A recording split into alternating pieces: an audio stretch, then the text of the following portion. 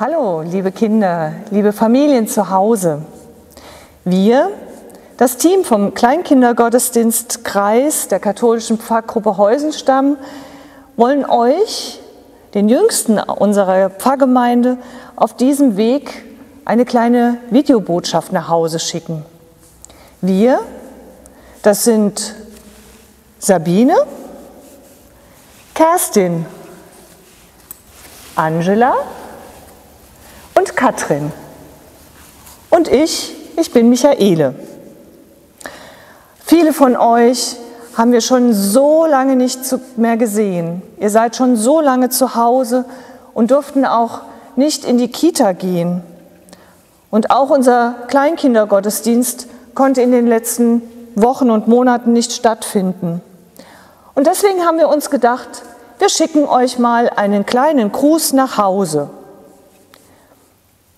Diejenigen von euch, die schon öfters mal in unseren Gottesdiensten waren, die erinnern sich vielleicht an unsere Kerze. Und wir wollen sie auch heute anzünden und daran denken,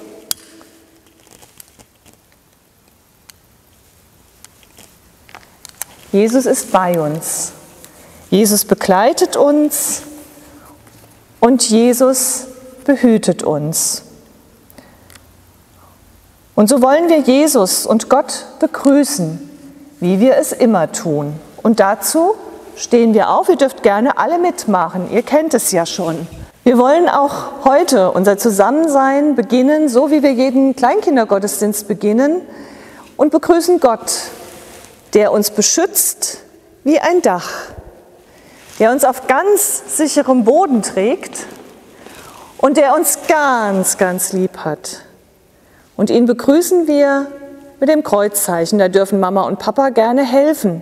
Im Namen des Vaters und des Sohnes und des Heiligen Geistes. Amen.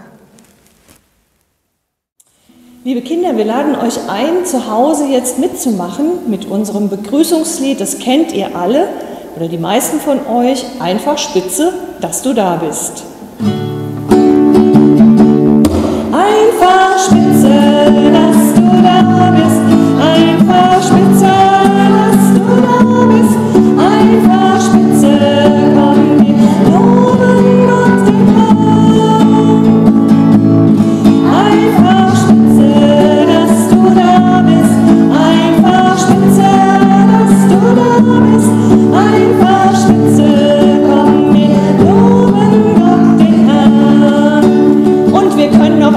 zweite Strophe, ihr könnt bestimmt zu Hause auch klatschen. Probiert's mal.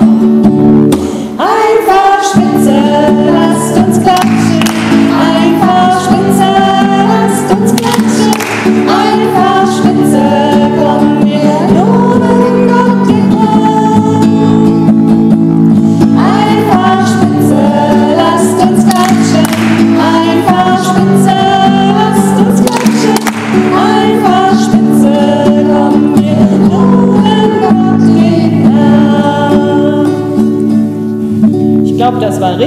spitze, dass ihr das mitgemacht habt. Liebe Kinder, wir haben euch eine kleine Jesus-Geschichte mitgebracht. Und in der Geschichte geht es um Angst und um Vertrauen und um ganz viel Wind.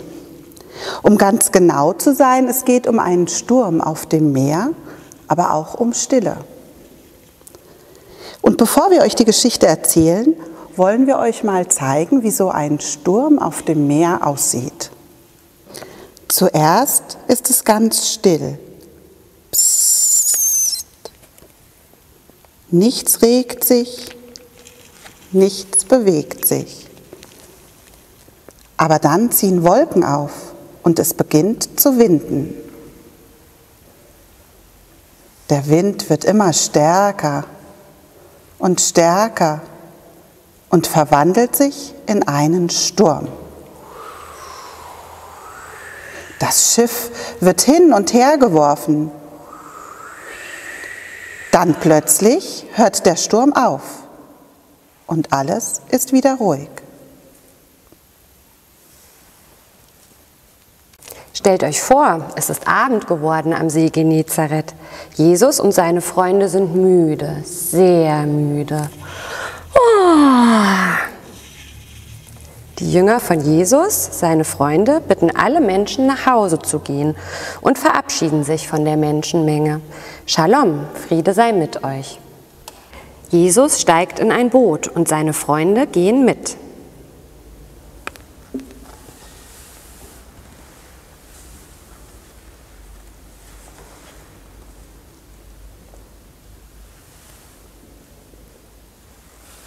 Sie fahren über den See. Jesus ist so müde, dass er sich im Boot schlafen legt. Auf einmal kommt Wind auf. Der Wind wird immer stärker und Wellen rollen über den See. Es beginnt zu regnen. Der Sturm wird immer stärker. Die Wellen werden immer höher und höher. Die Wellen werden gefährlich. Sie schlagen über dem Schiff zusammen und immer mehr Wasser dringt ins Schiff ein. Die Freunde von Jesus haben große Angst, dass das Boot umfällt und sie ertrinken werden. Sie schreien laut, Hilfe, Hilfe, aber keiner hört sie. Und Jesus, der liegt im Boot und schläft, immer noch tief und fest. Ich glaube, der träumt einen schönen Traum vom lieben Gott. Die Freunde gehen zu ihm. Sie rütteln ihn wach und rufen laut, Jesus, wach auf, hilf uns, wir ertrinken. Da öffnet Jesus die Augen. Er sieht den Sturm, die hohen Wellen und sieht vor allem, dass seine Freunde große, große Angst haben. Da steht er auf und sagt, warum habt ihr Angst? Ich bin doch da. Ich pass auf euch auf. Und er befiehlt dem Wind und den Wellen, seid still, es wird ganz still und ruhig. Der Wind und der Regen hören auf. Die Freunde von Jesus staunen. Wow, so mächtig ist Jesus. Der Wind und die Wellen tun, was er sagt. Dann werden auch sie still. Keiner redet mehr und das Schiff fährt ruhig weiter. Ja, liebe Kinder, liebe Familien zu Hause, vielleicht kennt ihr ja dieses Gefühl, wie wir es eben in der Geschichte gehört haben, dass der Wind uns ganz schön ins Gesicht bläst. Und das nicht nur draußen in der Natur, sondern tatsächlich auch manchmal in den Gefühlen, dass wir nicht das tun können, was wir wollen. Vielleicht kennt ihr das, liebe Kinder, dass ihr nicht alles machen dürft. Gerade jetzt in dieser Zeit darf man nicht überall hin und äh, man hat bestimmte Regeln und dann ist man sauer und zornig und wütend und im schlimmsten Fall fängt man auch noch an zu streiten, vielleicht mit euren Geschwistern, mit Mama und Papa oder auch mit Oma und Opa oder mit den Freunden. Und dann werdet ihr, wie man so schön sagt, richtig vom Sturm der Gefühle durcheinandergewirbelt. Und wir alle haben auch manchmal Angst. Also auch ich, auch wenn ihr vielleicht denkt, die da vorne sitzt, die ist schon groß. Die hat bestimmt keine Angst. Das stimmt nicht. Vor was hattet ihr denn schon mal Angst? Zum Beispiel vor der Dunkelheit, vor irgendwelchen Schatten, vielleicht vor einem großen Hund. Angst davor, irgendwo runterzuspringen. Vielleicht haben eure Eltern auch manchmal Angst. Angst um die Kinder, wie sie das alles überhaupt im Alltag schaffen sollen, jetzt gerade zu Corona, vor dem Virus. Manchmal braucht man einfach jemanden, der in der Angst da ist und hilft.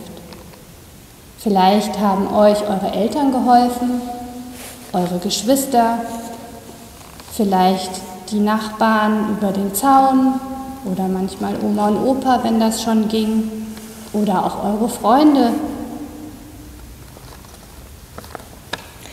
Ja, du hast erzählt, dass Kinder und Jugendliche und auch Familien und Eltern Angst haben, große Leute Angst haben. Und die Jünger von der Geschichte, wo wir eben gehört haben, die hatten auch auf dem See richtig, richtig Angst gehabt. Und ihnen hat in dieser Angst auch jemand geholfen. Es war Jesus. Er war bei ihnen. Er hat Mut gemacht. Ich bin noch bei euch, hat er ihnen gesagt. Und auch das sagt er zu uns, wenn wir Angst haben, wenn in unserem Leben es manchmal richtig stürmisch zugeht und wir durcheinandergewirbelt werden oder wenn wir stinkesauer sind und traurig sind, da sagt er auch zu uns, ihr seid nicht allein, ich bin bei euch, ihr braucht keine Angst zu haben. Und dann dürfen wir auch manchmal, wenn es uns gar nicht gut geht, zu Jesus beten und ihm alles erzählen, was uns Angst macht, was uns auf dem Herzen liegt. Er ist da. Er lässt uns nicht allein. Das hat er uns ganz fest versprochen. Und daran dürfen wir auch festhalten und darauf hoffen und daran glauben. Und dazu haben wir euch noch ein ganz tolles Lied mitgebracht. Das Kindermutmachlied, bei dem ihr jetzt auch wieder alle mitmachen dürft.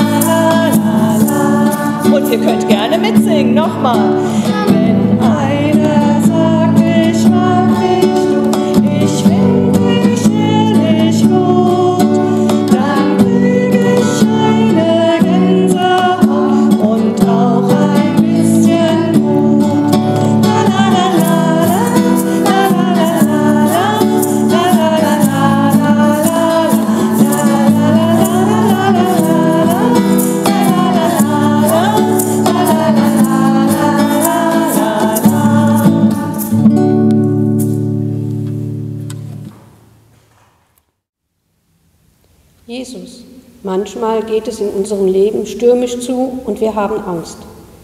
Doch du bist bei uns, auch wenn wir dich nicht sehen können. Jesus, du hilfst uns auch in schwierigen Situationen.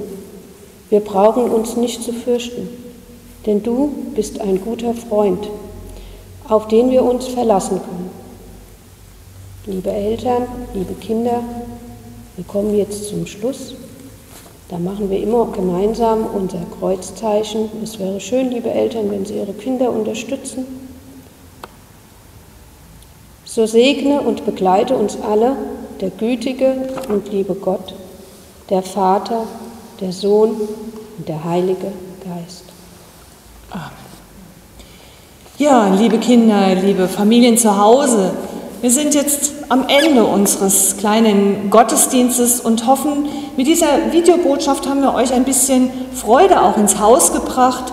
Und wir hoffen doch sehr, dass wir uns ganz, ganz, ganz bald persönlich wiedersehen und wir hier in der Kirche oder auch draußen unseren gemeinsamen Kleinkindergottesdienst wieder feiern können. Und bis dahin, bis wir uns wiedersehen, bleibt gesund, bleibt munter und vor allen Dingen habt Mut und keine Angst. Es grüßen euch das Kleinkindergottesdienstteam und sagen Tschüss.